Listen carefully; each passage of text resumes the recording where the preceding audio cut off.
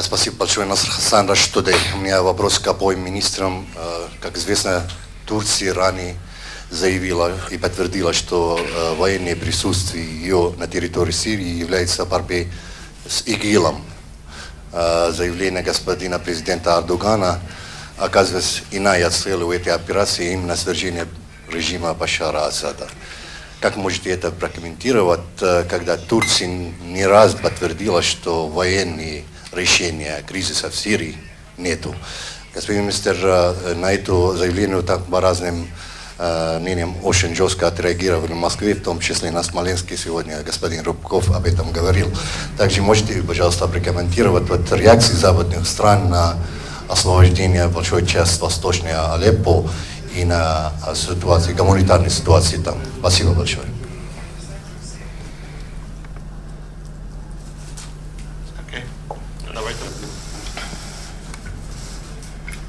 Çok teşekkür ediyorum sorunuz için. Большое спасибо за вопрос. Esasen Э, В настоящее время в рамках э, щит, э, операции э, «Щит Евфрата» э, мы очень конкретно сотрудничаем с нашими партнерами, э, с союзниками. Наша цель является очистить Сирию и этот регион от Даиш, террористов э, Даиш, э, и также Нустра, э, боевиков Нусры, Э, ПКК, ЕПГ и другие террористические организации, они все под прицелом э, нашей борьбы.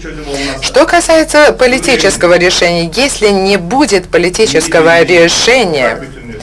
И если не будет территориальной целостности Сирии, э, то сегодня, очистив Даиш, в, сюда могут прийти новые боевики. Мне кажется, это э, самый э, верный путь – это политическое решение конфликта. И иными словами, э, и высушить это болото и не дать почву для э, развития там туристической деятельности.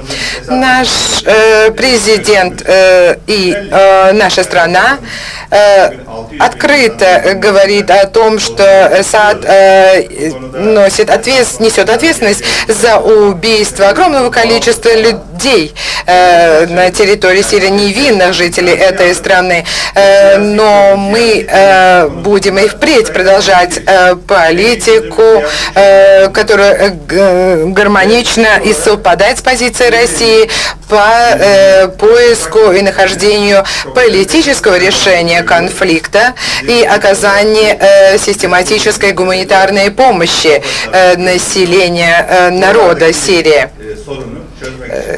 И наша политика э, в этом смысле неизменна. Мы, конечно, сотрудничаем и с другими странами, но я думаю, что наше близкое сотрудничество э, с э, Российской Федерацией в этом смысле даст большие плоды и успешные плоды. Этому свидетельствует и общение наших президентов. Вчера, например, состоялось очередное общение по телефону президента нашей страны Эрдогана и президента Российской Федерации Владимира Владимировича Путина. Большое спасибо за вопрос. Я тоже могу подтвердить, что президенты регулярно общаются. А За последние несколько дней трижды, по-моему, они разговаривали по телефону, а, углубляя и конкретизируя договоренности, которые были достигнуты в ходе их а, личных встреч, в том числе и в, том, в отношении сирийского урегулирования. Мы, как уже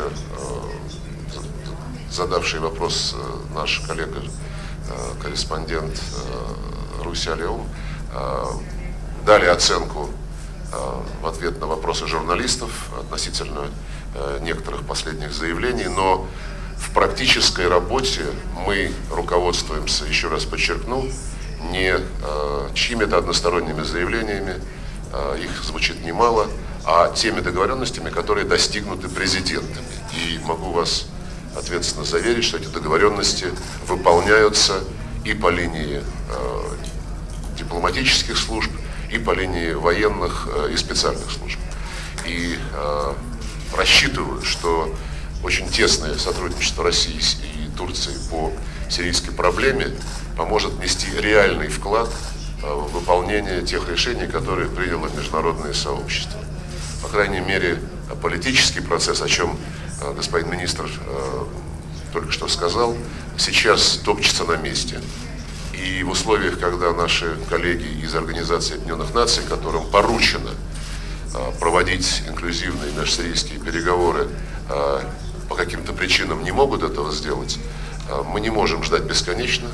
Будущее Сирии должны определить сами сирийцы. И Россия и Турция в практических делах всячески способствуют тому, чтобы создать для их инклюзивного диалога необходимые благоприятные условия. Как это, собственно, и записано в резолюции 2254.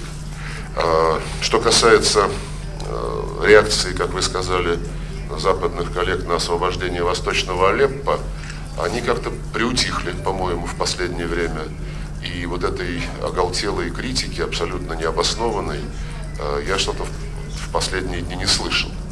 Э, наверное, они понимали, поняли, осознали, что э, ситуация в Восточном Алеппо ничем не отличается от ситуации в Масуле, в Ираке, а сейчас Запад призывает гражданское население уйти из Масула, поскольку необходимо освободить этот город от террористов. Та же самая задача стоит перед сирийской армией при нашей поддержке э, в том, что касается освобождения Алеппо от террористов. А, и э, вот, призывая гражданское население покинуть Масул и дать возможность расправиться с бандитами, э, наши западные коллеги одновременно говорили нам, что вот зачем вы э, призываете мирных граждан уйти из Восточного Алеппо. То есть тут налицо двойной стандарт, и э, то, что э, и в том, и в другом случае террористы и в Ираке, в, Масуль, в иракском Масуле, и в сирийском Алеппо используют гражданское население в качестве живого щита, очевидно, по-моему, для всех непредвзятых наблюдателей.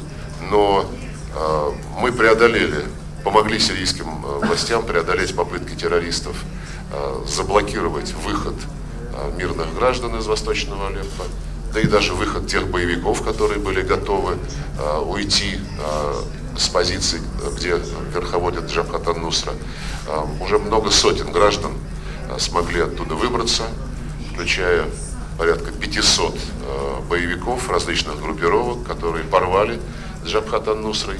Так что то, та задача, которую американцы взялись выполнять, э, отмежевать э, умеренных оппозиционеров от Джабхата Нусры, которую они провалили полностью, эта задача выполняется сейчас уже по факту. И думаю, что э, приглушенность этой критики в наш адрес отражает понимание нашими западными коллегами, что они, в общем-то, проводили несостоятельную политику Э, по этим, по этим направлениям. Что касается э, гуманитарной ситуации в Восточном Алеппо, э, мы э, все э, дни, все недели, э, в которые проводилась и продолжает проводиться операция по освобождению Восточного Алеппо от террористов, использовали любую возможность для того, чтобы помогать мирным гражданам, доставляя туда гуманитарную помощь, вопреки э, угрозам со стороны так называемого местного совета, Э, предотвращать э, поступление гуманитарных конвоев, обстреливать их и так далее. Теперь, когда значительная часть Восточного Алеппо была освобождена, нет никаких препятствий для доставки гуманитарной помощи по дороге Костелло. Мы сказали об этом ООНовцам и в Нью-Йорке, и в Женеве. Не понимаем, почему они э, до сих пор э, не предприняли каких-то э, крупных акций по организации гуманитарных конвоев. Но тем временем наши военные и по линии Министерства чрезвычайной ситуации направляется гуманитарная помощь, направляются мобильные госпитали, они уже разворачиваются в Восточном Алеппо, направляются врачи, необходимые медикаменты, оборудование. А, вот так что вместо стенаний по поводу того, что жители Восточного Алеппо не могут получить помощь, мы занимаемся конкретными делами. Надеемся, что международные организации, включая ООН, Э, последуют нашему примеру.